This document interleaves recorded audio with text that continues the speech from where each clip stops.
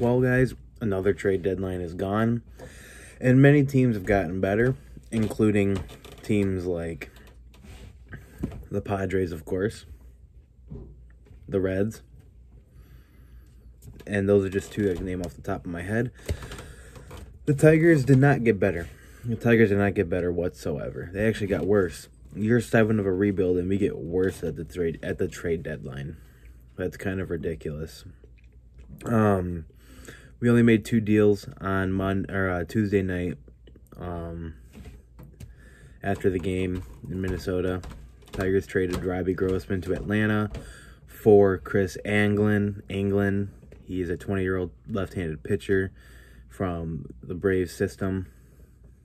Um, he's only 20 years old and he's he's in single A, but he has a 3 and 5 record with a 5.4 actually 5.93 ERA this season.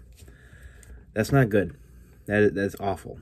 What's the point of trading for what's the point of trading for somebody who might be on who might make the big league roster one day, who might, not someone who will, who might. Those are his words.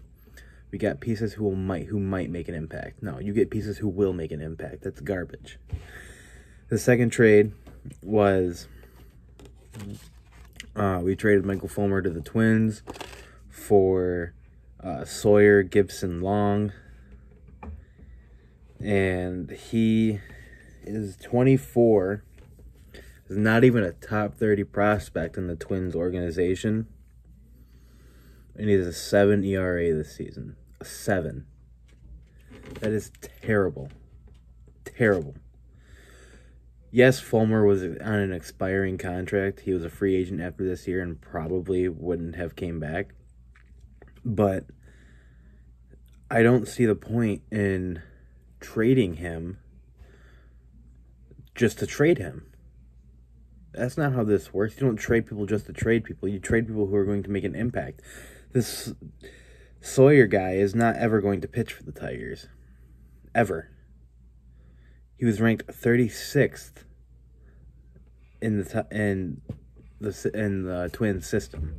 He's a 7 ERA. You can't fix that. You're not going to fix that. We're not good enough to fix that. Our organization is garbage. From the top down, garbage. But no, we just trade to trade, trade to do something. But he didn't like the packages or deals for Gregory Soto or Joe Jimenez. Are you kidding me?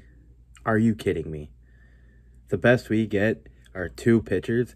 The system is full, or this organization is full of pitchers. We have no bats. Torkelson and Greene are our only hitters that are even close to the big leagues are in the big leagues. Roberto Campos is years away. Cristian Santana is years away. I mean, Jace Jung is three years away, maybe two. We need players now, not three years from now. Year seven of a rebuild, you cannot have this type of de- deadline. You need to get better. Getting pitching isn't going to. You can get pitching whenever. Pitchers are so easy. They're mm. pitchers are like running backs in football. If you have good people around them, they will succeed. Bats are the hardest thing to come by. Take a chance on a young hitter in a system and maybe try and develop them like we can never do in the past, but maybe we'll hit on one. But this is just one of many reasons why Al Avila should never be at the helm of a baseball team again. If any organization ever hires him, or if the Tigers even ever fire him, which might not ever happen, but he should never be working for a professional baseball team ever again. It's ridiculous. Year seven of a rebuild. We're 22 games under 500, about to be 23. I get it, injuries happen but you got to hold people accountable, and nobody's being held accountable for this season. Like Scott Coolbaugh, garbage. AJ Hinch, garbage. I mean, Mike Hessman, garbage. It's it, and everyone loves loves to single out players for struggling. How come they don't struggle when they're in the minor leagues? How come they don't struggle when they're in Toledo? Like Riley Greene didn't struggle in Toledo, Torkelson didn't struggle in the T- Toledo, but as soon as they come up here, they struggle and don't get any better. It's because our coaches forget that they, they have to do a job and actually continue to develop these players. This is why nobody wants to play for this trash organization. This is why no, this trash organization can't develop talent. Never have been able to, besides pitching. Our best developed hitter in the last 20 years is Curtis Granderson. And we ended up trading him for Austin Jackson. Second best hitter, Nick Castellanos. He was awful here until his last season when he would only fly out to deep left center field. But Al Avila needs to go. They need to fire everybody. Start over. Get somebody in here who will spend money. Get give Aaron Judge a blank check. Sign him.